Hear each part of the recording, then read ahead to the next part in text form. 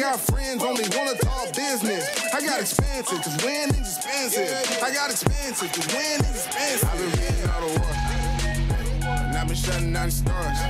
Yeah, cause when it rains and it pours. Yeah, and I'm ready for some more. Yeah, and I've been reading all the What's up, Kevin Hill? Not much. Excited about the basketball theme today. I pulled out my Oh, yeah. Air Jordans, the, the retro ones. I my parents would never buy me as a child, and uh, wearing those today. Well, how- what did those run you? Did you have to get them off eBay? Did you have to wait in line at the mall? Well, how did you go about getting them? No, you, I just walked into to Foot Locker or somewhere a few years ago and, and bought them. The, you know, Oh. They're, they're, they're, the new reproduction, so they're not like limited editions or anything. So it's like a hundred dollar pair of sneakers.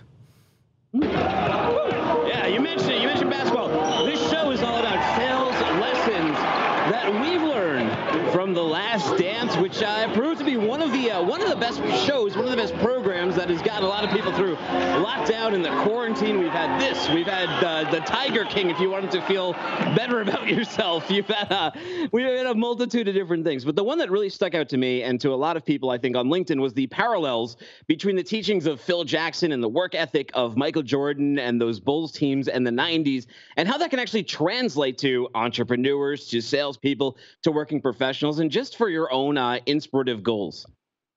You're exactly right. It's all about commitment, persistence, uh, uh, ability. You know, being prepared, being present. You know, that was a big quote that, that we'll probably focus on quite a bit today. Is is being in the moment, being present, all those things. Being really highly competitive, maybe super competitive, maybe so competitive that nobody likes you. Uh, but but all of those all, all those key ingredients is is the same as uh, sales, sports, anything where you're competing and, and going after one another. I even watched the bonus feature. So I watched The Last Dance, but then I went back in time and I watched Space Jam and a wonderful movie with Bill Murray and uh, and uh, and Michael Jordan is there taken up to to play on the the Toon team against the Monstars on um, Planet Moron. And uh, maybe our, our guys at NASA at some point can get us an uplink to uh, to Planet Moron. Maybe so. I don't know if I've ever watched Space Jam. I, I think I probably have, but it's been so long that I can't really remember anything except Michael Jor- Jordan, Bill Murray, and cartoons. Bugs Bunny. Oh, and- Bugs Bunny's in it, right? He is all the all most of the tunes. Daffy Duck, Bugs Bunny, Marvin the Martian, the, the whole the whole crew's there. Uh, although you know those characters have fallen off. Like my kids, they're three and five. They don't Bugs and and the gang. They need something new because right now they're not inspired by them at all. Like Moana, they're into and uh, and that kind of stuff, but nothing to do with the Looney Tunes. A couple of people in the comments. Eric Serta said he's refilling his coffee even though he's not a closer. Don't tell anyone. I just told everyone, Eric, but feel free to drink it on us, especially if it's decaf. Stan Duncan says uh, deep bow of gratitude to. Uh, to Dooner and Kevin Hill. Same to you, sir. Matthew Berg says, uh, "Hey, Eric Serta." Uh, Matthew Mark Horowitz says, "It's Hump Day. It sure is." And Gregory Grimes says, "Good morning, all." And yeah, that's the nice thing about put that coffee down. We're right dead center in the middle of Hump Day, and at FreightWaves Live at Home, we were right dead center in that program too. We were 12 p.m. Eastern Time every Wednesday, and it is strange. The Looney Tunes that they kind of just died away. They, they haven't created anything new in, in a long time, and I wonder why that is. Because they were an integral part of of both of our childhoods, uh, but it just seems like they just uh, they haven't created anything in a long time. Yeah, I mean, they're kind of waning in my in my child, to be honest, Kevin. Hill. They were, Uh, well, yeah, you you're not that much younger than I am. I had Transformers and I had GI Joe. That kind of stuff was uh, was, was resonant with uh, with me. But you know what? This show resonates with. This show re- resonates with HubTek. This month's Put That Coffee Down is sponsored by HubTek. HubTek just launched Tabby. Have you heard about it? It's a new task automation bot that helps you focus on what matters. To learn more, visit gohubtek.com. And you know what? Trey Griggs will be joining us to break down the survey a little bit later, do his elevator pitch. And uh, this is a topic I know he can get up for. I know he can too. He loves basketball, loves Michael Jordan, and he's going to be full of great insights when we get to the survey, wrapping the survey into to lessons learned from the last dance. Speaking of which, you, so the match, I know that the match was one of your favorite programs that aired all throughout lockdown. What would you think about Michael Jordan going with uh, Tiger or Phil and Phil or Tiger pairing up with, I don't know, the Tiger King and, and doing, doing some golf? I would love that. I would like love to see Jordan out there competing and see him probably gambling on on each hole as he went. And I would say it would be great to have him paired uh, with the, the, the, other basketball great Charles Barkley. But I've seen Charles Barkley play golf, and I, I don't know if that would be very competitive whatsoever. What about it looks I- like Barkley's horrible. Isiah Thomas, yes. you got to get that. They, they might come to blows. Uh, and we'll talk about that a little bit about having that chip on your shoulder and sometimes just identifying that rival, fair or unfair, that person that just fuels you. For some people, it's their dad. For some people, it's uh, it's just a, it's just a, a peer, right? Or, or someone in a rival organization that you just want to mm-hmm. be better than. Mm-hmm. And you, for whatever reason, you can't stand them. And, uh, and one thing we learned about Michael Jordan is that he constantly found new ways mm-hmm. to motivate himself to get up every day and to excel on the court. Yeah, he would find a foe. I, I think that's uh, that's what comes from the Last Dance. A lot of times, whatever he needed to motiv- motivate himself to outcompete, outperform, to, to beat other people, he found it. He'd, he'd, go searching for it. He'd go searching for his foe to, to motivate him, put that chip on his shoulder, and take off. Well, here's our quote for today. It's it's from Michael Jordan in 1984 during his rookie season, and he didn't even look outside the organization. He looked internally. He says, "From the first day in practice, my mentality was whoever is the team leader on that team, I'm going after him, and I'm not going to do it with my voice because I had no voice, I had no status. I had to do it with the way I played." And uh, I think that you can do that in healthy and non-toxic ways. You just have to be careful, right? You have to make sure that. Uh, you know, there's nothing, there's nothing. That's the great thing about organizations. Whoever you nominate or whoever rises to the pillar, hope that they're good because you, the rest of your team they can only raise that high, and then you get someone great like Michael Jordan who's going to aspire to be even better. I think he's very healthy because he's not trying to do it with his voice. He's not asking or he's not demanding something. He's going to go out there and work for it. He's going to go out there and perform, let his play speak his words. And it goes back to the old saying actions speak louder than words. And that's exactly what this quote is all about. He's going to let his actions make him the, the team leader at some point, and the quicker the better in his case. Gregory Grimes says, Good morning, all. Michael Nemay uh, says, Trey Griggs is the GOAT. And Patty Hanosa said, Her coffee's down. She's listening. We had a couple comments when we put this topic up. Chris Jolly, he's uh, the freight coach, a longtime listener. He says, The best leadership lesson I learned is the value in leading yourself in life and your role within an organization. Not everyone is MJ or the superstar, but he is nothing without his teammates. His teammates lead themselves in their roles to make themselves the best role players possible to set the team up for success. Looking forward to this. And that's a really interesting point, too, because the, the players on his team they recognize that uh, Michael Jordan is is as good as he is, and in fact, before you saw this documentary, you probably heard a lot about his reputation as being this demanding, driving, um, hole, right? That would that would mm-hmm. just put everyone out there. But I think what you find out when you watch the documentary is that it's entirely forgivable because he spends more time practicing, more time on the court, and more time dedicated, and that inability to turn the game off. That all you can do is sit there and go, you know what, this guy's really putting the effort in, and he is that damn good. So I better just find my place and ride that wave. Exactly right, and that's what you have with Scottie Pippen, Dennis Rodman. Uh, that they couldn't tune it in like Jordan could because Jordan was always present. He couldn't turn the game off. That's all he did. That he lived, breathed, and, and just competed. And, and basketball was was the primary competition that he did. That's what he's a superstar about. But his whole life is one big competition. Uh, but but you have to have that person, and then you have to have the, the role players in there to, to, to help him out and, and do the things that he couldn't do. You know what I found interesting though? It was the parallel between maybe Michael Jordan, then you had Kobe Bryant and LeBron. Kobe Bryant and LeBron, maybe for for good reason, they, they took they took a lot more heat. And I know they they grew up in the internet era where Michael Jordan only had to worry about what sports writers would really say about him, and then you know what people may say at the bar but he didn't have as much acrimony. There's a lot of fan acrimony coming coming at him. Even Bruno DeLillo, he says he's the global sales director at Legacy Supply Service. He said excited for the show. He wasn't a Michael Jordan fan growing up, but watching this documentary, I found a new level of appreciation in my sales role for him. And uh, Bruno, if you'd like to elaborate that on more, I'm really curious too. What aspect of it really helped uh, fill that out for you?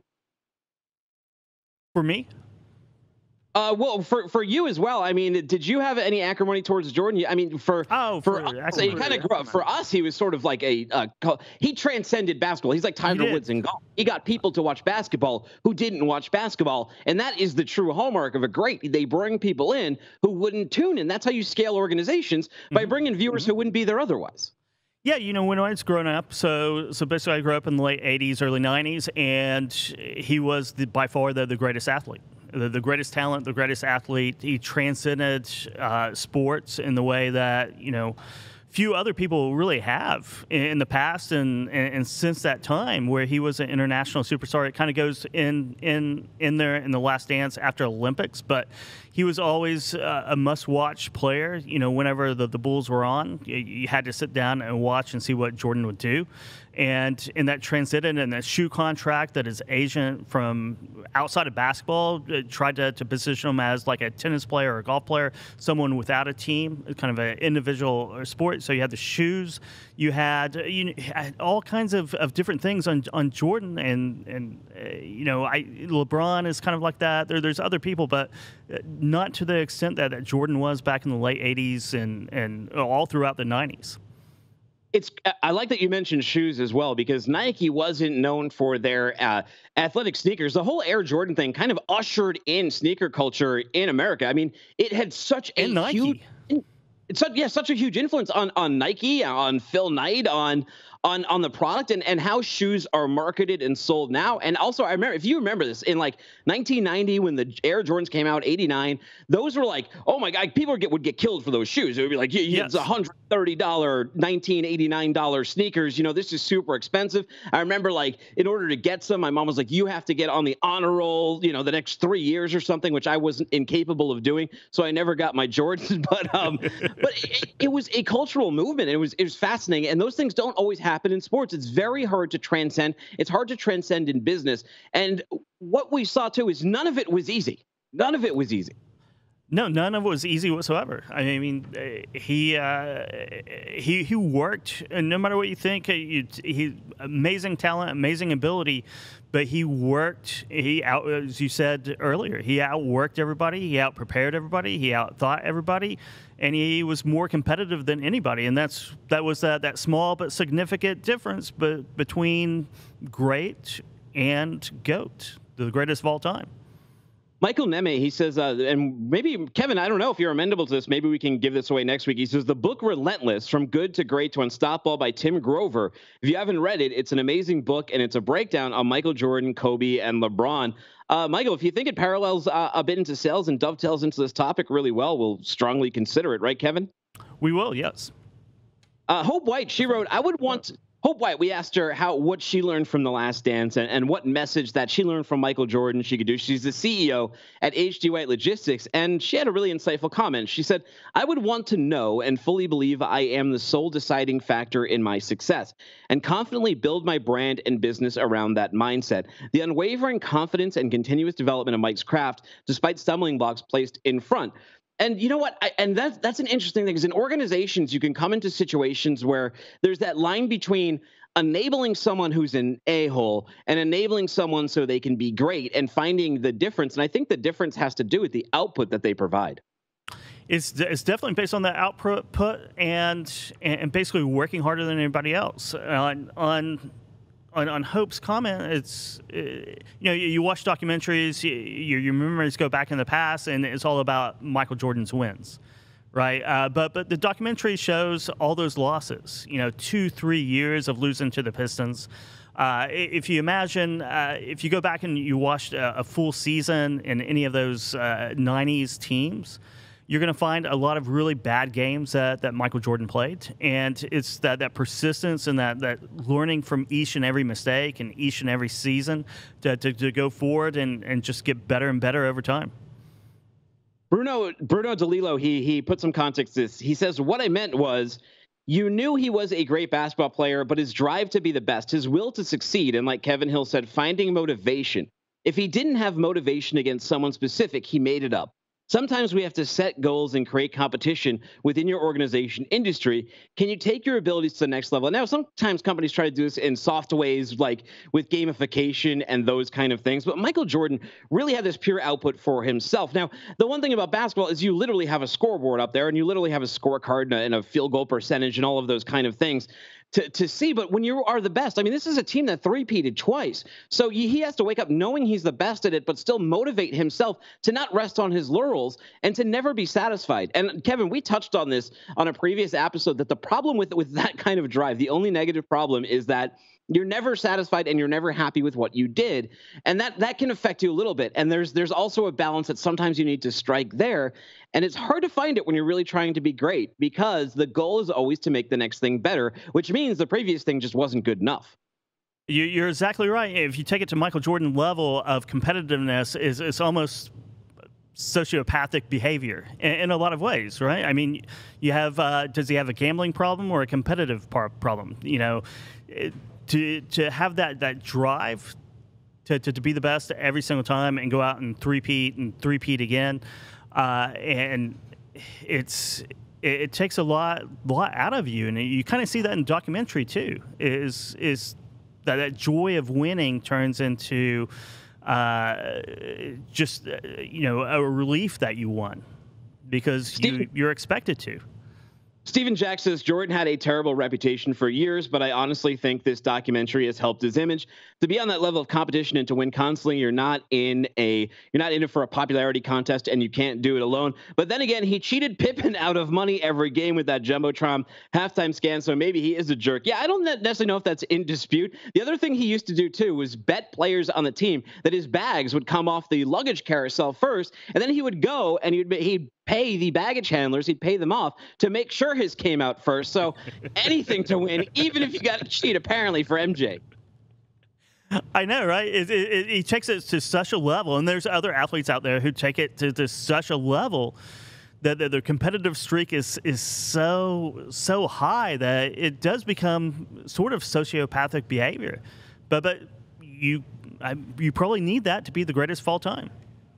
Now, you've seen the Rodman episode, and Jake McLeod, he's the CCO at RPM. He said he liked the way that Phil handled Rodman. And, and for Rodman, he will be our archetype of sort of that, that really good personality who can show up, uh, who shows up to work, but you never know wh- what time he's coming back to the hotel room at night or any of that kind of stuff. He said he liked the way Phil handled Rodman. You need to understand all the personalities on your team and what each one needs from you. A younger coach would have tried to clamp down on Rodman, but Phil knew this is what he needed to be able to perform at his best, and he would get every ounce out of him. Just like in sales, leaders leaders need to be chameleons sometimes and be able to change based on the circumstances and who they're dealing with. You know, in, in some ways, Rodman I, I, I compare you to Rodman a little bit. Oh, you, sometimes you're out of control. Sometimes you're hard to handle. You're different, right? But you're great. Sure. But but you're great, and you just have to, to be able to, to to work with with every personality type that comes in. That was Phil Jackson's kind of. Uh, you know that was his specialty, and and watching the documentary and, and talking to Stan Duncan, I, I can see a lot of similarities between those two. Yeah, you know, and I think as much credit as Jordan gets, I think in terms of management, the, how Phil Jackson handled that team is a uh, is a textbook example of, of, something that that man sales manager should be looking into for the way he was able to mold these different personalities to work as a cohesive unit. Because some of those, like we mentioned, Jordan's drive, Jordan's push, his determination, the way he treated his teammates, especially if he thought that they weren't pushing hard enough, could be seen as very toxic in some organizations if it's not put in the same light. Dennis Rodman taking off to show up on WCW Nitro and at pay per views, and hanging out with uh, Hulk Hogan, all that kind of stuff could seem like a huge distraction.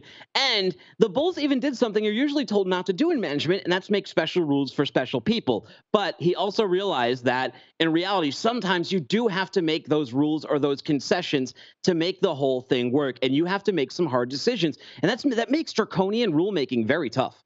Yeah, the whole Rodman vacation to, to Vegas and the way Michael Jordan and you know Phil Jackson handled it the way Phil Jackson did. But I was surprised to see you know Jordan handled it very well. He's like, yeah, he needs a vacation, you know, and uh, and basically you probably won't see him in 48 hours. But he knew that he knew the Rodman's personality too, and although Jordan was was highly competitive and, and wanted everyone to to give out maximum effort. Uh, he respected Rodman a lot because he just knew that he just in, in a lot of ways just wasn't all there and he had to do what Rodman does and coming back and getting in shape and doing those laps around uh, Indians Indian laps or Indian sprints I, I, forget exactly what they call them uh, and, and, being surprised that you know even with Rodman's all Rodman's difficulties he was always in shape he was always ready to play when he was on the court one of Jordan's sort of credos on there was this relentless dedication to being the best at what he did. And it's a value system that forces you to evaluate and improve yourself and just constantly get better. And and we touched on earlier is is maintaining that sort of in balance without being too toxic and without getting everyone because like like people said it's not a popularity contest. You're not going to make a lot of friends if you come in with all that drive. If you're working 60 hours a week and everyone's working 40 hours a week, you're going to get the stink eye even though you're helping the organization because the especially if you don't involve the role players well. But the thing is, the thing is winning or closing deals is a great panacea to some of these problems that can cure a lot of toxicity.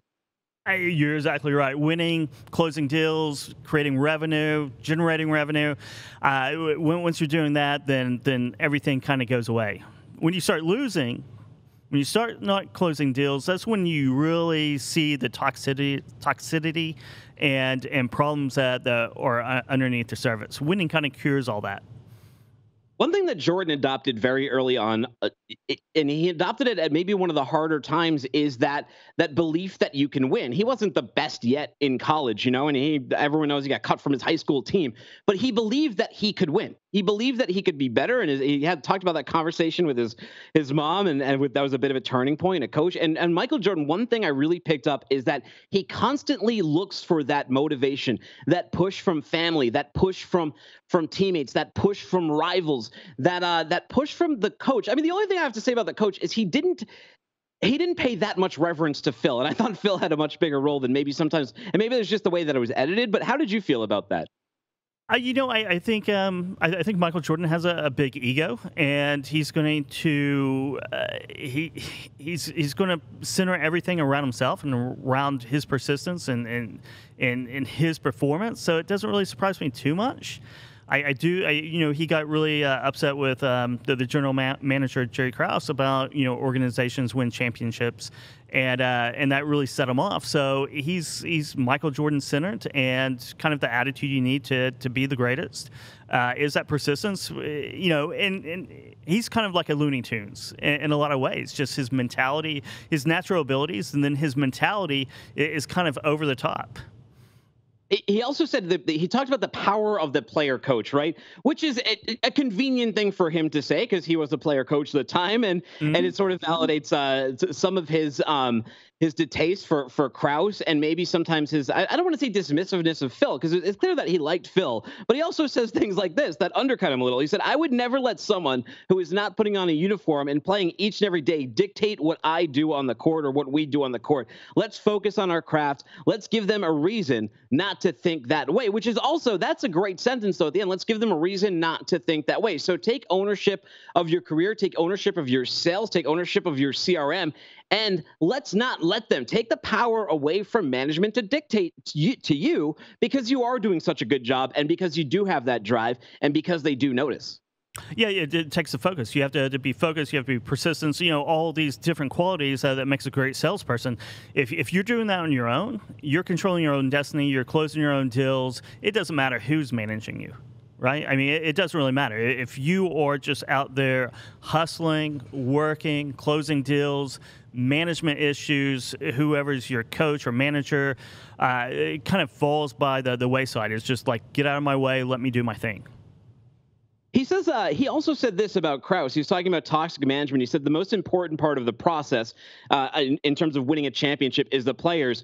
For him to say that is offensive to how I approach the game, and that's Jordan on Jerry Krause saying players alone don't win championships, mm-hmm. organizations do. And I got a question: Do you think that he fully means that, or do you think that that's Jordan being Jordan, and he had to identify yet another person to fuel him, which was Jerry Krause, another person to just give the middle finger to to get him up in the morning? I've been in organizations, and and sometimes it's helpful to have someone in the organization that's higher up than you that you dislike. Sometimes it does help. Sometimes it drives you. I, I think it's Jordan being Jordan. I, I, think it's it's it's creating an enemy, uh, and there's probably all kinds of other issues between him and Jerry Krause. Uh, but this is a, a, good soundbite for him to go out and repeat and and talk to the press about. And you know, it's it's basically uh, it is a fu, right? You know, it's, it's, it's you know, it's my team. We're the players. We're the greatest assets. But Jerry Krause is right. It takes organizations to, to, to win win multiple championships. So the players are the, the, the most important ingredient, but without a, a, healthy organization that's putting all the right pieces together, uh, you're not going to win championships. Well, it's low standards too, and and letting low standards define an organization. Feeling if you make your team feel like you you gave up on them, your sales team, oh, this month's already a wash, even those kind of things. The effect that that can have on people can be quite profound. And for Michael Jordan, it was the mistrust, the mistrust that Michael had with management, specifically Jerry Krause, was he believed they violated the most fundamental aspect of the sport, of the most fundamental aspect of the way Michael Jordan conducted his life. You do it at the highest level, and you do it to win all the time. From the moment on, from that moment on, Michael's relationship with ownership and management was deeply sour. That never went away, and that was uh, that was his teammates talking about him there. Yeah, and I, I don't know what year. Was. Do you know what year that was?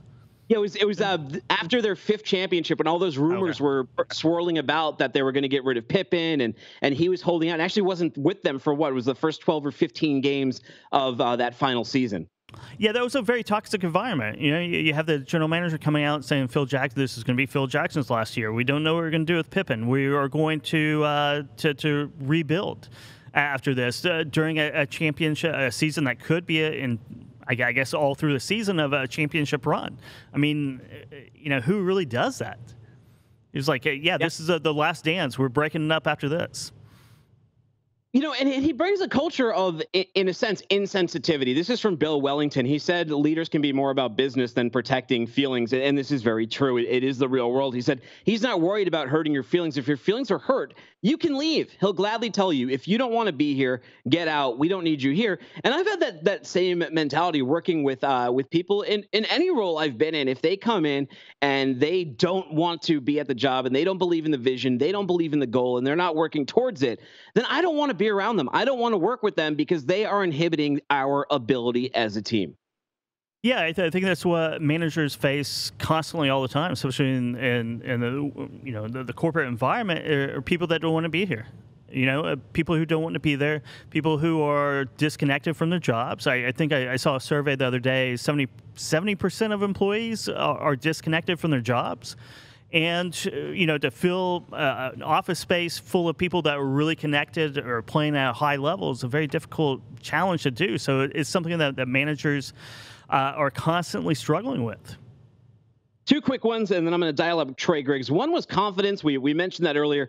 He and this is from Michael Jordan. He says that game-winning shot changed my name from Mike to Michael Jordan. That gave me confidence that I needed to start to excel at the game of basketball, and it changed the name in his own head before it changed it in the press or anywhere else. He found that thing to say, you know what, I don't suck at this, and now I know I can grow and get better. I know I can complete the game.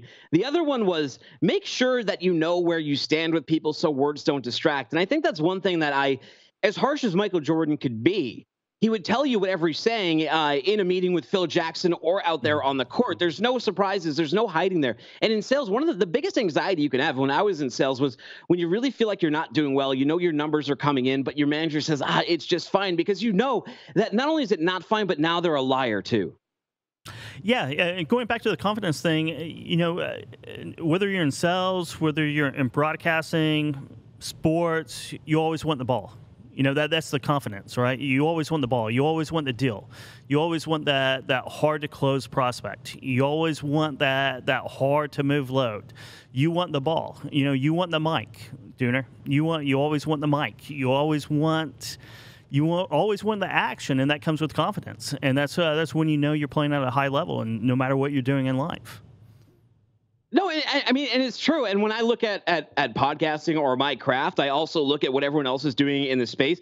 Not not just this space, but throughout the industry. And I'm always looking to try and escalate this as much as I can and to make it as as best as it can. This is what I do for a career. This is what I dedicate my life to. I'm impassioned by it, and it makes me it makes me bring that dedication to it. And I probably am not behind the scenes. I'm not always the easiest person to work with because I I expect some perfection as well. I expect things to work a certain way, and if they're not. I want to know that people are working to make them improved and to fix them. And that that that comes with dedication. It's hard to unplug from that, and it it it, it, bring, it, it makes you rattled sometimes. It, it, does. It does. But if you're not doing that, you're not going to get better. You're not going to improve, and success isn't going to uh, to to be on your door. Let's bring uh, let's bring Trey yep. Griggs on up. Let's hear from him. Let's get his elevator pitch rocking on here, and uh, and we'll talk to him all about this documentary that I know that he's a big fan of. He's the global director of sales for HubTek. I know a lot of people in the comments here are familiar with him. Let me try one more time because it wasn't dialing. Let's dial it up one more time. Trey, and here, make sure you're in a coverage area, Mr. Trey Griggs, if you're listening along. trying to bring you up right now. Another good quote from Phil Jackson that you have listed here is a Japanese proverb: "Fall down seven times, stand up eight. That's all it takes."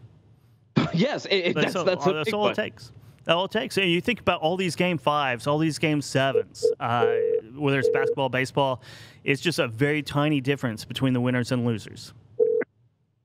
Hey, Trey Griggs, thanks for joining us on the air. We were trying to get through to you. For some reason, the phone just wasn't dialing through. I'm not sure if you're in or you're in a strange coverage area or something, but we're, we're glad we got you up on the air, man.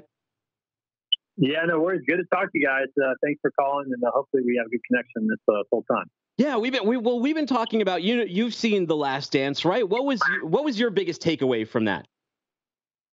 Well, before I can answer that question, Dooner, I have to tell you that Emily put me up to having an intro rap. Oh, uh, for this session, and I actually have one. It'll take about fifty seconds. We got time for that? Can I lay it down? Yes, uh, you have the floor.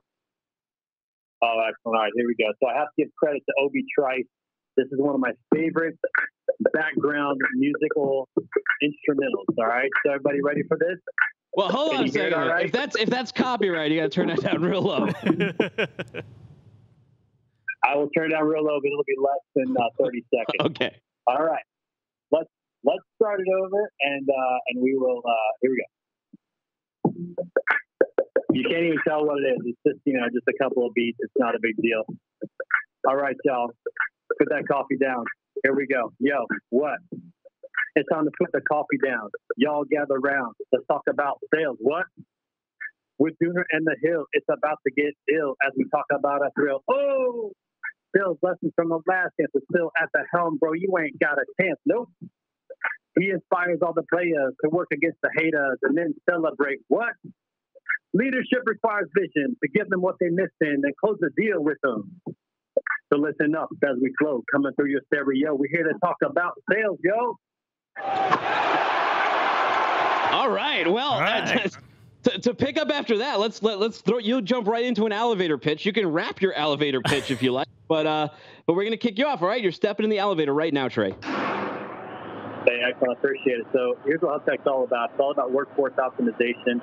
Everyone in your organization has mundane, repetitive tasks that they wish they didn't have to do from the CEO down to the entry level carrier sales rep. These tasks are often brainless and they take time away from more important work, like winning new customers, building better customer experiences, and even going to get the coffee and saying hi to people in your office. HubTek is here through RPA to answer all those problems and take those tasks off your plate. So give us a call and let's uh, let's get on the phone and talk about how we can help you out. All right, thank you very much, Trey Griggs. You've made it to the ground yeah. floor, and uh, we will be checking out Tabby, that automation bot, man. I, I love I automation. Automation is great. it allows you to, to do things that are productive and not the things unproductive. Yeah, well, Trey, before we dive into uh, before we dive and break down this survey with you, what was your biggest sort of takeaway from from uh, the Last Dance? We were talking a bit about what we took from Jordan, Rodman, and uh, and from Phil as well. Man, that's a loaded question because there's just so much to take away from it. And, you know, today I want to talk a little bit about vision, but I think what I took away from it um, on the overall scale was um, how impressed I were with the professionalism of everybody in that organization. Even with all the craziness, they never got distracted. They always kept their eye on the target, and they worked relentlessly to achieve their goal. And I think we took for granted six out of eight championships um, in that run. But watching that documentary and seeing the work that they put in, they weren't just talented people. They worked really, really hard. And I just took away from that that, man, they kept their eye on the prize. They worked ridiculously hard. And uh, they were professional the whole time, even even with Rodman. I mean, when he got on the court, he was a pro's pro. You know, he, he did his job, he did his thing. So it was incredibly impressive. But I just took that away that um, talent is one thing, but hard work is really the the key there. And uh, you put those two together, and it was almost an unstoppable combination. You know, to me, a character that stuck out was was Pippen, and it's almost like the Greek tragedy of Pippen, where he's this he's this really good player, but he's always in Michael Jordan's shadow. He had the chance to have the mic and have the floor when Jordan was gone. They didn't win a championship there, um, but you could see like you could see that Pippen was always very torn. You know, he respected Jordan; they were really good friends, but he didn't like being in the shadow. He didn't like he felt very disrespected by not being allowed to take a final shot in a game. That's a big plot line in the series. How do you feel about dealing with the the guy who's maybe second best on the team, but still really good? Well, you know, Pippen is an interesting case study because if you if you go back to his origins, he didn't really grow up winning anything. He wasn't a winner until he got to Chicago. I mean, he grew like six inches in college, which that's insane in and of itself. I wish I had grown even one inch in college, but he grew six inches in college and really kind of came onto the scene late in his career. And he wasn't really a you know part of a winning organization or a winner and being with Jordan stepped his game up. We never would have heard about Scottie Pippen if he hadn't played on those Chicago Bulls with Michael Jordan, Phil Jackson. And so I think in his DNA, as good and talented as he was, um, he, he was a number two. And I think he knew he was a number two until Jordan left. And then he felt like he would naturally be the number one, but he still wasn't a number one. He was really a number two. And that's where he thrived. That's where he contributed the most. And when he played that role, that's when they were the strongest. So looking at Pippen, he was incredibly talented. He was very good. He worked hard, but he was, mentally he's a number two, and I think he knew that. I just don't think he knew how to deal with it emotionally. He didn't know how to handle that situation because he, he wasn't a number one.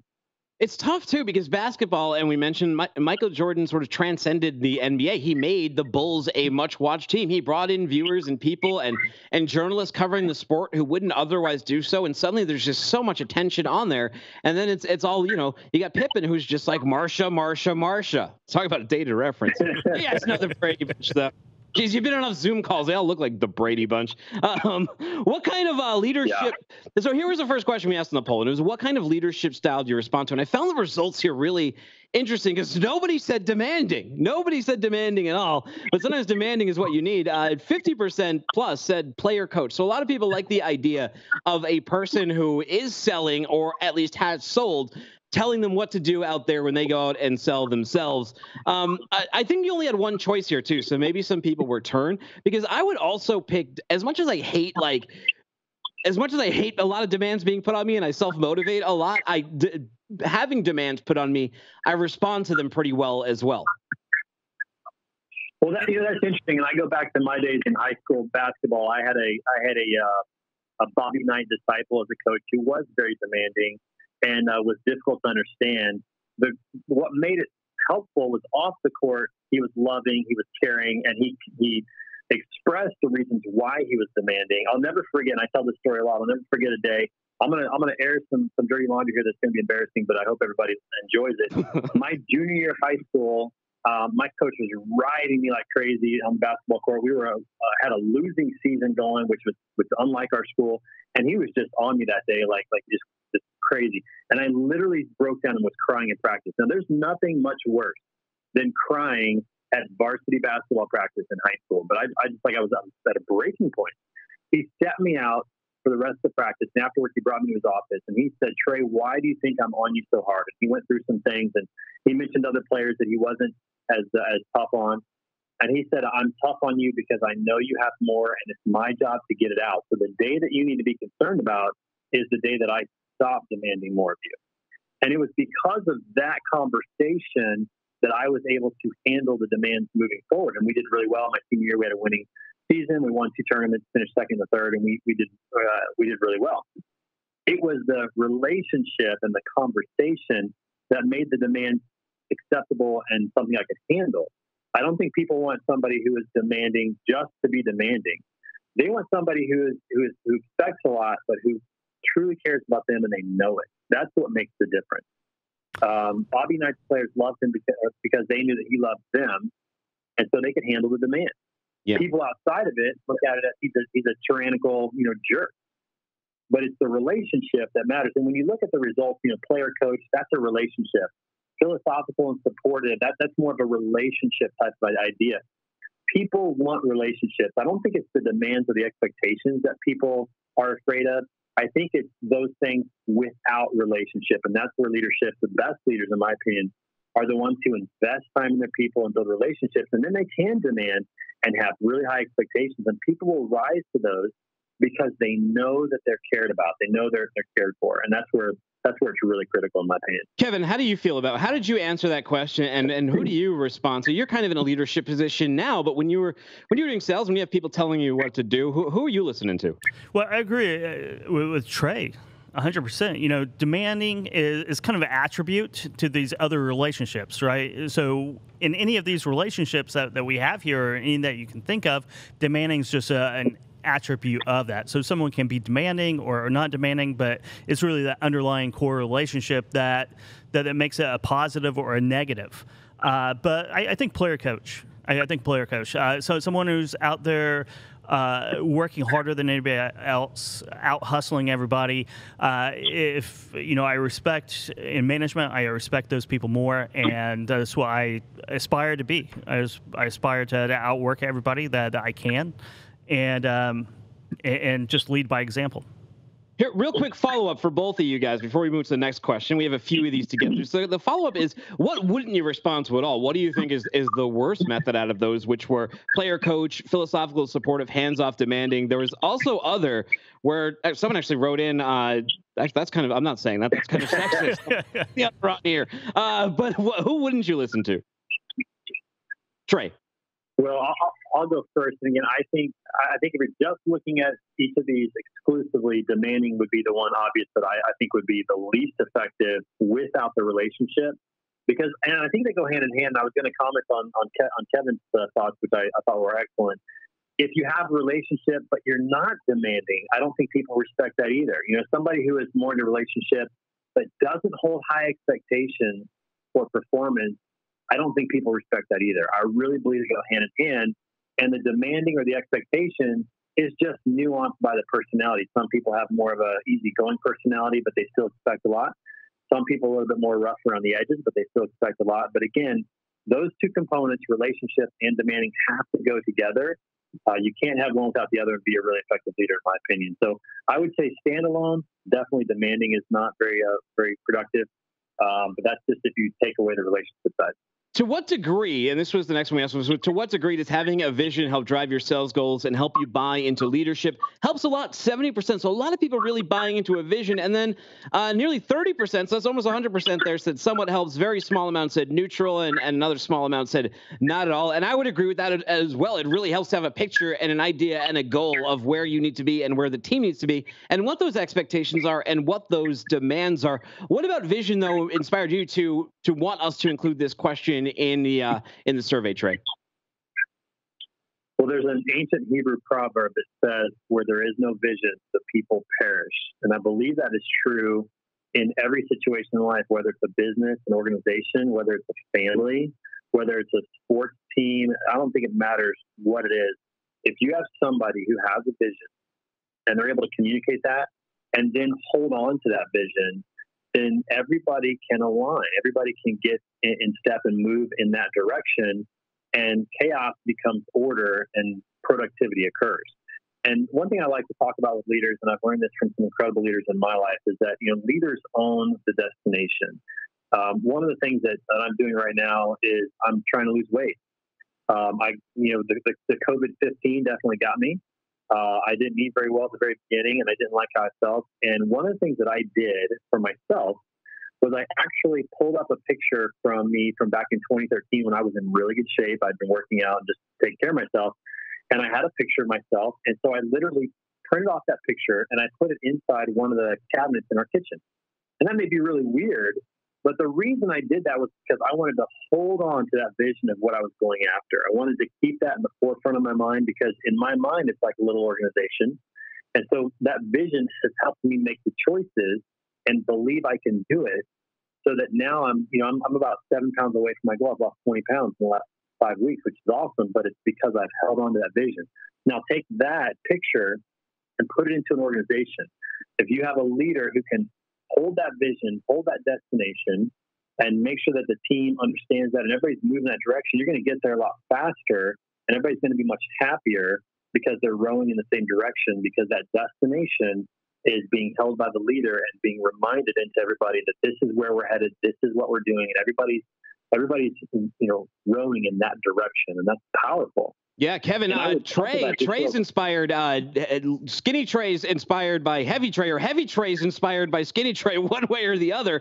Uh, for us, Vision, like for me, one of the most recent things where having a Vision really helped was when we were doing FreightWaves live at home. We had to pivot and convert this live event to a virtual event, but uh, a core team of us who really knew what we wanted it to look like and be, in a vision guided by our CEO and founder Craig Fuller, really helped set the map. And then Craig has always just been really good about being sort of hands off unless there's really a problem that he has to he has to put out. But Kevin, what, what does vision mean to you in all this stuff?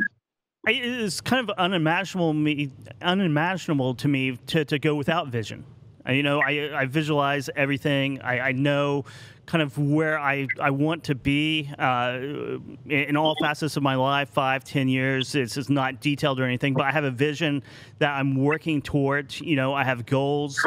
Uh, to just be visionless is is is so awkward for me to even imagine that I, I, don't think I could, you know. But I think I have been in a company or two that, that really didn't have a vision.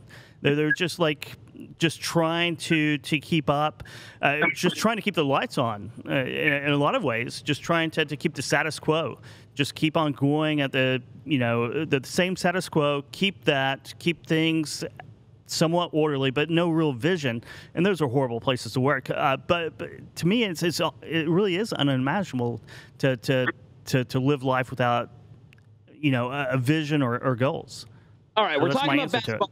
So, all right, we're talking about basketball. I'm putting up a shot clock because we have a few more of these to get through. So you got a 60 second shot clock on the rest of these. How transparency? How transparent are you with your team and their performance, or is your manager transparent with you?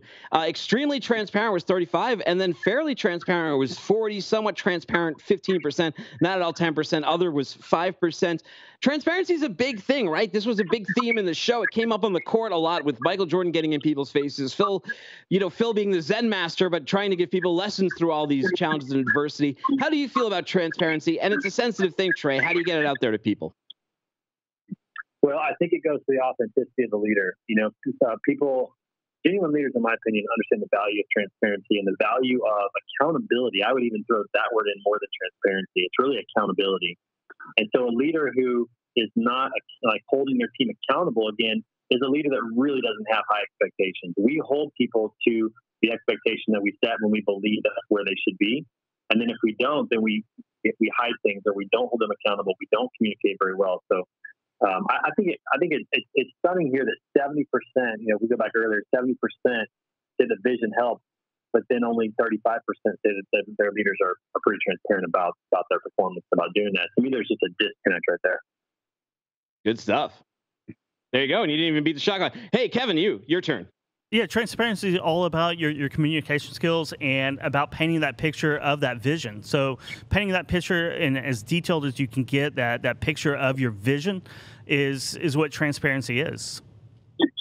Good stuff. Good stuff. And then uh, what was uh, well, let's see, what was the next one we got on here? It is talking about how much effort. And by the way, my opinion on transparency, I think it's it's definitely needed. I'd much rather have someone tell me to my face uh, if there's a performance issue or something like that than have than have meetings going on in the background and then taking that control away from me and delaying my time to improve. So if there's something going wrong, let me know, and that that goes out there. I'm I'm perfectly fine with it.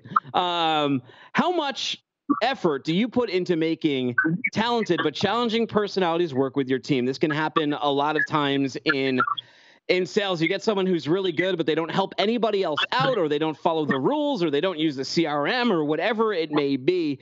They this this team said that they put a lot in. Forty five percent. A lot of our, our viewers said, and another thirty percent said some. Uh, only a few said very little, but fifteen percent said they'll fire you. They don't put up with anything. You don't follow the status quo, you're gone. Uh, Trey, how do you uh, how do you deal with that one? Yeah, we should we should have the, we fire them people, let them know who they are, just so we're all aware of that. But what, what I would say to that is, um, you know, I, I think that I think that something that Phil did better than probably anybody. I don't know that anybody could have coached that team of personalities to that level of success outside of Phil Jackson. Maybe there's some others that could do it, but what I thought he did really well was he got to know what made his players tick. I can't imagine any NBA coach today allowing Dennis Rodman to do what he did in the middle of a championship season and in the middle of the NBA Finals when he took a vacation and when he went wrestling. I mean, that's cra- that's crazy. But Phil knew Rodman well enough to know that when he came back, he was going to give everything, and there wasn't he wasn't going to miss a beat. He knew that about him because he invested time in Dennis Rodman, and he did that with all of his players. And here's what I think happened: when a leader invests in getting to know how their people tick, I think it rubs off on everybody else. And everybody goes, hey, Phil's okay with Dennis being gone. He knows he's going to be back. It's not, not that Bill was okay with it, but he allowed it because he knew that when Rodman came, came back, he was going to be great. They didn't fine him. They didn't suspend him. He went in and had a great game. So I think it's investing in people and getting them what makes them tick. Yeah, uh, Ke- Kevin, would, would you agree with that? It, it can be a challenge, and and again, you always have to navigate those waters. Are are you enabling bad behavior? Are you having team go? Well, you let him do it. Why don't you let me do it? Uh, the problem is most of us are in right to work states, so just because someone did something doesn't necessarily mean you get to. They might have earned that. Uh, they might have earned that cred. Uh, they, they might have, and and I, I would think that in freight brokers there is a lot of time spent on odd personalities because this industry is is made up of, especially in freight brokers, there's a lot of odd personalities in freight brokers. So I would imagine that that I, I agree with this. A lot of time is is is spent on managing challenging personalities. Chris Seed says no one cares about you more than someone who is constantly holding you accountable. And yeah, I, I agree with that, Chris. Uh, when people start talking, when people stop talking to you, that usually means that, uh, especially if they used to, they're probably looking for someone else or probably looking for your replacement because you've disappointed them enough. They don't have the energy to, to speak to you anymore. Here's one. Here's here's a big one that comes up in sales offices, and it's account distribution. Michael Jordan says we are entitled to defend what we have until we lose it. How do you feel about accounts Michael Jordan didn't say about accounts. This is how do you feel about accounts being reassigned due to a lack of performance? And you know what? A lot of people agreed. Uh, 35% said that they agree. 30% said they somewhat agree. There's some neutral. 15% said disagree. Those are probably the same 15% who fire everybody with challenging personalities. Uh, what do you think, Trey? Is it Esther get off the pot? Well, I, I, think so. I mean, you know, customers are the lifeblood of your business, and that's where that's where the that's game time. That's where the performance hits. And if somebody's not cutting it, obviously you want to put them through a process and make sure that you know they're getting the proper training and coaching so they can succeed. But if it's just not in the cards for them, if it's you know if, if you're just not a good shooter, you got to stop shooting three pointers, right? I mean, that's just kind of the nature of the thing. So if you're not good with these accounts and you're not able to make strides through coaching and training, then absolutely I agree with that because again, those accounts are the lifeblood of your business or your your revenue, uh, both now and in the future. And I just think that that's that's the game time situation that you have to uh, you have to put the best players on the court, and that's uh, that's how I view that. Yeah, I, I, have to agree with you. I, when I was, I would go into my CRM and you would see that there was no correspondence or interaction with an account that may either that fall into your territory now, or you're doing research or someone referred you to go check them out, and then you go check with your manager. Can I have this reassigned? There's been no activity, and then they don't enable you to do so. That can be highly frustrating because sometimes these people squat on these accounts for no apparent reason whatsoever. Kevin, what do you think? I, I, I agree with both of you guys. I, I I am surprised that it's so low you know, 35% agree, and then 30. So there's about two out of three uh. somewhat agree. And, and, agree. And I, I, would think that would be even higher than that. I mean, because if you're underperforming, if you're not getting the job done, it, it needs to be reassigned. I mean, it's, it's that simple, and everyone should believe in those rules. And if you believe in those rules, then your performance will be be higher. Hey, hey, Trey, we gotta we gotta get a book away and get some shout outs out. This time flies way too quick, but good thing you're a sponsor all month long. We're gonna have more HubTek on here and break down a lot of these things. But in the meantime, how do they go and check out the word on the street and uh, and HubTek? Yeah, so go to our website, go hubtek, dot com. You'll learn all about Tabby and about the other solutions that we that we offer. Uh, my lunch on Fridays is at 1 p.m. Eastern time. I always post about on LinkedIn. I put the Zoom uh, link on there. It's open to anybody. Come and join and check out you know what's going on. Some fabulous transportation professionals in that lunch every week. Um, and those are the best ways to reach out to me on LinkedIn with a you know a connection or a DM. Would love to talk to anybody about automation, about how we can help them out in that way. Thanks, Ice Trey. We really appreciate your time Thank today. you. It was great having you on the air, man. Uh, yeah, always great to hear from Trey. And these these topics they always go by so quick because there's such a uh, there's such a big nugget to pull out here. But I have a question for the audience too before the show ends. What motivates you guys to sell? Leave your comment here. I'll read them out. I'm I'm very uh, excited interested to see what this community thinks about all this stuff. Speaking of communities, uh, when, uh, in the show notes of this and the article we post, there's the Glengarrys. That's our our communal lead list, and I don't mean lead list to solicit. I mean lead list to share information to to make friends, to get guidance. There's 40 million Americans unemployed. Everybody knows somebody who probably needs some help right now. So network in there and see if you can get help, or you can give help, or you can extend a hand. And uh, I think that, especially in these trying times, in so many different ways, anything you can do to be positive and to help somebody is going to make you feel better. And I think that with a lot of us, this this whole situation, just the mental health behind it weighs on you too, right, Ke- Kevin? It does. It does. And that's the reason why the Glengarry list is so good, especially right now, as you said, with all the unemployed. It's a great way to go out, network, find a job, find a new hire, find challenging personalities if that's what you- you're trying to look for, those, those diamonds in the rough.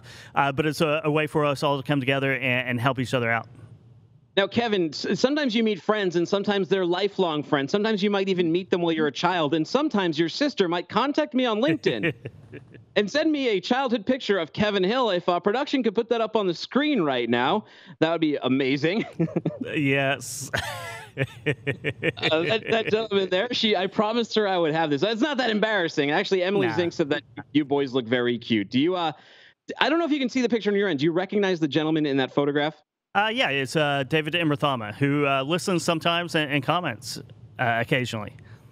Speaking of comments, Jonathan A. Payne says Trey Griggs leaders own the destination. Good call, man. The ones putting in the work after hours, not taking their lunch breaks, not taking not t- taking their lunch break to work, prospecting on the weekends, always looking to improve their left-handed dribble can still get Jordan-like results. Leaders put in the work. Yeah, I mean, li- Mhm. it's a lot of hard work. Li- Life is a lot of hard. Melissa Price, she's she's uh she's laughing at this photograph. I don't know why. I think it's a perfectly fine photograph. Kevin, what book are we giving away this week, man? So, so we are giving away, uh, and I forgot to bring the copy up here because I, I came up here and we did this test and it threw me off of my schedule. So I'm going to blame you for that. Um, but it's uh, Stan Duncan's book that, that you sent- test. Huh? Yeah. Wherever you go, there you are. And it's the, the meditation book that we talked about last week with Stan Duncan. Okay, I'm going to draw for it right now. And then next week, we're going to give away the book that Michael Neme recommended to tie in with this one Yes. Relentless From Good to Great to Unstoppable by Tim Grover. But right now, we have 60 names. Let's put them in the random number generator. It is number 37. Let's see who number 37 is. It's Robert Bain. Robert Bain, you have won the book. Congratulations, sir. That is now yours. How do you feel? How do you feel about winning that one, Robert? He should Well, feel good. Uh, So, so um, it was a Michael Mike Fulham from from Reed TMS sent me a picture of of that book. He he went online and bought it himself this uh, this last week. I think he sent it to me on Saturday or Sunday, but it just uh, arrived at his door. So he's reading it as well, and I recommend it to, to everyone who who kind of wants to, to, to get into the head of maybe um, uh, of I, I, the Bulls head coach. Oh, he says, that? uh, What's his name? I wouldn't say Phil Knight, but that's the owner of Nike. no, Phil Jackson. Phil Jackson, yes. That's right. Gregory, Gregory Grimes says, I'd love to see a follow up documentary. Jordan, the Washington Wizard years. No, nobody wants to see it. That's like watching like Joe Montana, the uh, the Chiefs Kansas- years, Tom Brady, the Buccaneers years. I'm predicting right now, it's just it's not gonna it's not gonna end well for Tommy. It's gonna end like uh, it's gonna end like uh, Favre on the Favre, Vikings. Yeah. Favre on the Vikings. That's, yeah. Not like Peyton on the, the, the Broncos, probably. Nope. Couple shout outs here. Chris Facey, Freightburger says, uh, great to connect. Great podcast. Really enjoyed the super relevant topic. Really impressed with you guys. Chris Facey, he simplifies logistics and decreases freight spend for businesses. So, Chris, thank you for reaching out. Brandon Dawson, he calls himself a dragon slayer. He says, hello, Timothy. Thank you for reaching out. I am surprised we are not connected already. I look forward to further conversations and your and your shows. There be dragons, Brandon Dawson. Uh, he's in sales. Maybe one day he can show us how to slay some, Kevin. Yes, maybe so. Slice uh, slice some dragons.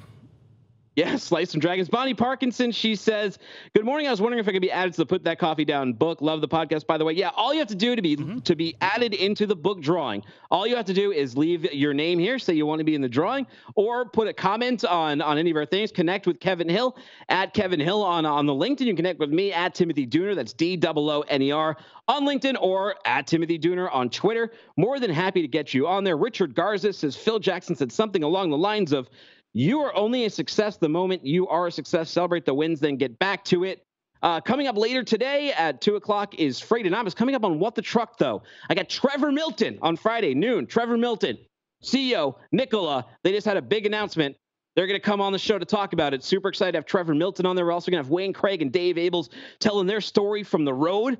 Well, they're out there, and we're also going to have Molo, come on. Molo Solutions. They gave a big donation during last What the Truck to the St. Christopher's Truckers Relief Fund. I got friends only wanna talk business. I got expensive, cause winning's expensive. I got expensive, cause winning's expensive. I've been reading all the war. And I've been shutting down the stars. Yeah, cause when it rains and it pours. Yeah, and I'm ready for some more. Yeah.